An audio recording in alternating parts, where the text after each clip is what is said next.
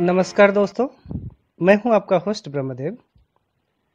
Friends आप सभी जानते हैं कि केमिकल पेस्टिसाइड्स का उपयोग कितना खतरनाक है। इससे हमारा वातावरण तो प्रदूषित होता ही है, लेकिन इसके साथ साथ यह हमारी सेहत पर भी गंभीर प्रभाव डालता है और कैंसर जैसे खतरनाक रोग पैदा करता है। फिर भी कमर्शियल खेती में इसके उपयोग पर कोई कंट्रोल नहीं है, परंतु हम में से जो लोग व्यक्तिगत या शौकिया तौर पर अपने घरों में टेरेस के ऊपर इंडोर या आउटडोर बागवानी करते हैं, वो अपने प्लांट्स के ऊपर जानबूझकर इन खतरनाक केमिकल पेस्टिसाइड्स का उपयोग कभी भी नहीं करना चाहेंगे। तो फिर इसका विकल्प क्या है? क्या कोई ऐसा हर्बल उपाय है जिसे इस्तेमाल करके पौधे की ज़्यादातर बीमारियों को कंट्रोल किया जा सकता है? तो फ्रेंड्स इसका उत्तर हाँ में है।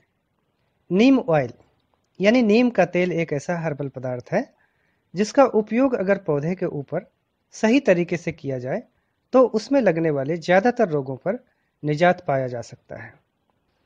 तो आगे हम लोग देखेंगे कि नीम ऑयल का प्लांट्स के ऊपर प्रभावी तरीके से इस्तेमाल किस प्रकार किया जा सकता है। इसके लिए आपको मार्केट से नीम ऑयल परचेज करना है। ये देखिए 50 एम नीम ऑयल का बोतल मेरे हाथ में है। जिसकी कीमत लगभग पचास रुपया है। यह आपको परचून की दुकान पर या आयुर्वेदिक मेडिकल शॉप में मिल जाएगा। इसके मेडिसिनल वैल्यू से हम लोग पूर्व परिचित हैं। हमारे पूर्वज सदियों से इसका इस्तेमाल कई तरह के मानव रोगों पर करते आए हैं। लेकिन इसका इस्तेमाल पौधे के लिए भी उतना ही लाभदायक है जितना मनुष्यों के लिए।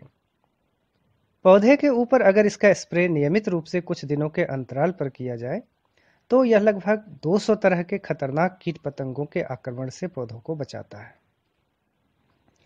अगर रोग पहले से लगा हो, तब भी इसके इस्तेमाल से रोग कुछ समय बाद समाप्त हो जाता है। और सबसे अच्छी बात यह है कि इसका कोई भी हानिकारक प्रभाव हमारे इकोसिस्टम पर नहीं होता है। तो फ्रेंड्स, आइए देखते हैं कि इस अति सुरक्षित हर्बल दवा का स्प्रे कैसे तैयार किया जाता है। नीम ऑयल एक बहुत ही चिपचिपा तेल है, जिसे डायरेक्ट स्प्रे बॉटल में भरकर प्लांट के ऊपर स्प्रे नहीं कर सकते। अगर यह 100 परसेंट प्योर है तो रूम टेम्परेचर पर भी यह काफ़ी स्टिकी होता है। जाड़े में तो यह बॉटल में लगभग जम जाता है। तो सबसे पहला काम आपको यह करना है कि एक छोटे बर्तन में गर्म पानी लेकर उसमें नीम ऑयल के बॉटल को डाल दीजिए। बस दो मिनट के लिए। इस दौरान इसके बोतल का ढक्कन आप खोल दें, ताकि गर्मी पाकर हवा का प्रेशर बढ़ने से बोतल फट ना जाए। गर्मी पाकर नीम का तेल पिघलकर पतला हो जाता है और आसानी से फ्लो कर सकता है। अब अगले स्टेप में हमें जिन चीज़ों की ज़रूरत पड़ेगी, वो है एक स्प्रे बोतल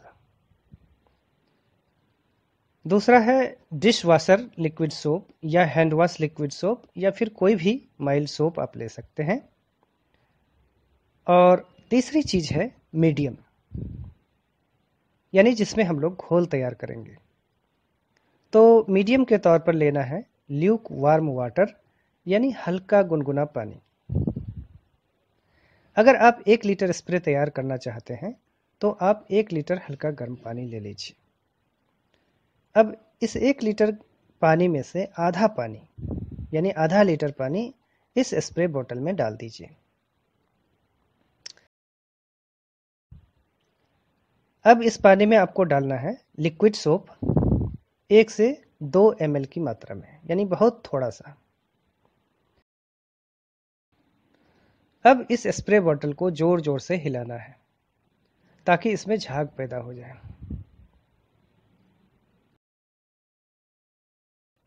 अब इसमें आपको डालना है पाँच से दस एमएल की मात्रा में नीम का तेल, जिसे अभी अभी आपने गर्म पानी में रखा था।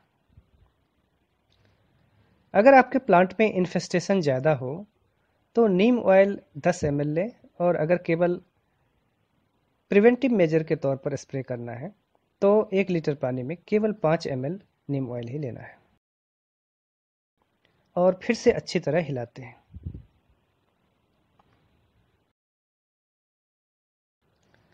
इसके बाद बाकी बचा हुआ जो आधा लीटर पानी है, उसे भी स्प्रे बोतल में डाल देते हैं। और एक बार फिर से इसे ज़ोर से हिला लेते हैं। तो दोस्तों, अब यह नीम ऑयल स्प्रे तैयार हो चुका है। और इसका छिड़काव पौधे पर कब और किस प्रकार करना चाहिए और क्या क्या सावधानियाँ रखनी चाहिए, यह बताने से पहले मैं आपको नीम ऑयल के एक विशेष प्रयोग के बारे में बताना चाहूँगा। कई बार पौधे के तने या शाखाओं के किसी खास भाग में फंगल या बैक्टीरियल अटैक होने की वजह से पौधे का वह भाग रोग से प्रभावित होकर खराब होने लगता है। जैसे कि इस गुलाब के पौधे में आप देख सकते हैं कि ब्रांच में कई जगह पर फंगल इन्फेक्शन होने की वजह से ब्रांच काला पड़ रहा है। ऐसी स्थिति में जल्दी रिज़ल्ट के लिए नीम ऑयल को डायरेक्टली प्रभावित भाग के ऊपर और उसके आसपास के हिस्सों पर अप्लाई करना चाहिए। तो इसके लिए आप नीम ऑयल को रुई में भिगो लें और उसको प्रभावित हिस्से पर अप्लाई करें। नीम ऑयल एक प्रभावी कीटनाशक होने के अलावा एक शक्तिशाली फंजीसाइड भी है।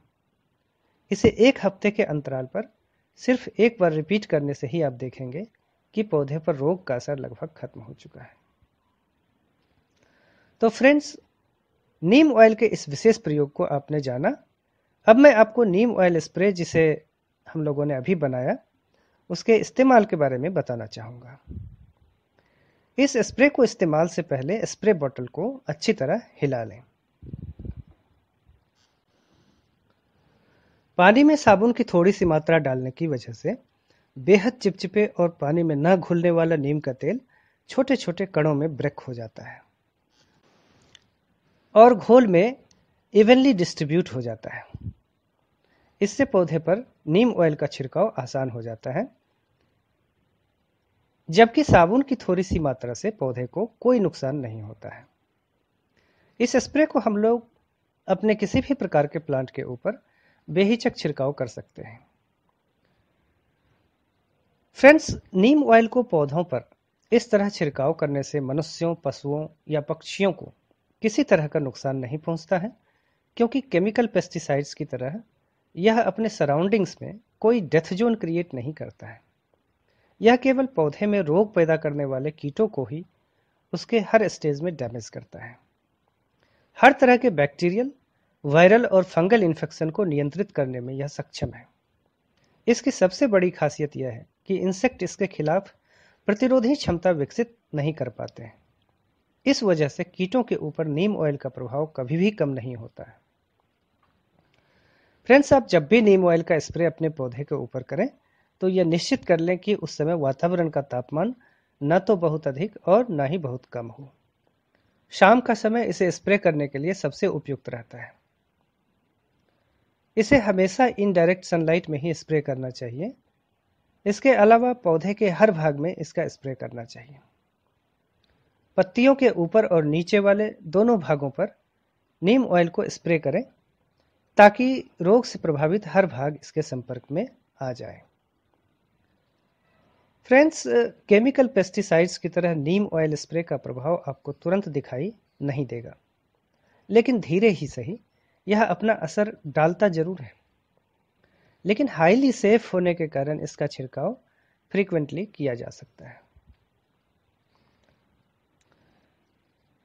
इसलिए अगर महीने में कम से कम तीन बार यानी 10 दिनों के अंतराल पर इसे अपने प्लांट्स के ऊपर आप स्प्रे करते हैं तो निश्चित मानिए कि आपके प्लांट्स पर किसी तरह के रोग का बाहरी अटैक नहीं होने पाएगा और केमिकल पेस्टिसाइड्स को यूज़ करने की ज़रूरत भी नहीं पड़ेगी। तो फ्रेंड्स अगर आपको यह वीडियो पसंद आया हो तो लाइक बटन दबाएँ और वीडियो को शेयर भी करें। किसी भी क्वेरी या कमेंट के लिए कमेंट बॉक्स का उपयोग करें और अगर आप मेरे चैनल पर उपलब्ध ऐसे ही और वीडियोस को देखना चाहते हैं तो सब्सक्राइब बटन को दबाने के बाद घंटी वाले बटन को भी दबाएँ। इससे मेरे हर वीडियो की सूचना फ़ौर आप तक पहुँच जाएगी। Thank you for watching